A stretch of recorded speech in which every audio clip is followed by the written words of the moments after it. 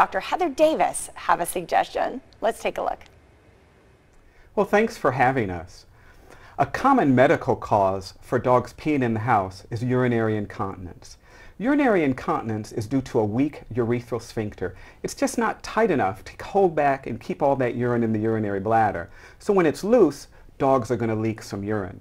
The good news is, is we have a once-a-day medication that can correct that problem. One of the most common signs of urinary incontinence is a wet spot on the floor or the rug where your dog sleeps.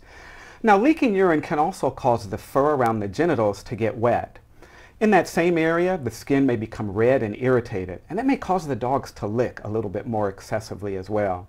It's important to realize that urinary incontinence is not the only reason why a dog may be peeing in the house. So make sure you visit your veterinarian so that they can make the correct diagnosis. But you know what? I'm going to help you today.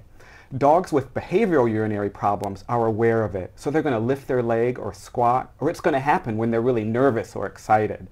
Dogs with urinary incontinence, however, it's going to happen when they're not aware of it, and so it's going to be a wet spot where either they're resting or sleeping.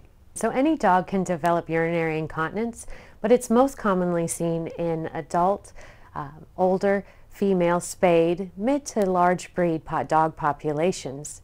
And if your veterinarian does diagnose urinary incontinence, there's a drug for it. It's called Pro-In-ER. It's an FDA approved once daily, easy to administer tablet that has been found to be both safe as well as effective for treating urinary incontinence in dogs. And if your dog is on Pro-In-ER, you just want to keep a close eye out for weight loss, vomiting, diarrhea, and if your puppy has high blood pressure, they'll want to be closely monitored on that as well. Again, your veterinarian is your primary point of contact, but you can also visit our website at proin-er.com.